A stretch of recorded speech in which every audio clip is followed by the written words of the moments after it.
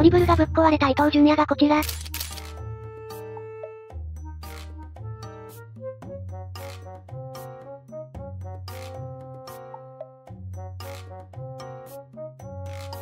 足の動き早すぎてシザースしてるの気づかんかった。稲妻ベトナム戦はいつもよりインパクトなかったな。シュートまで持っていく形うますぎだろ。ベトナムが思ったより強かったけど伊藤は止められない。取れそうで取れないボールの置きどころが絶妙だよな。伊藤だけ1.5倍速で動いてて草。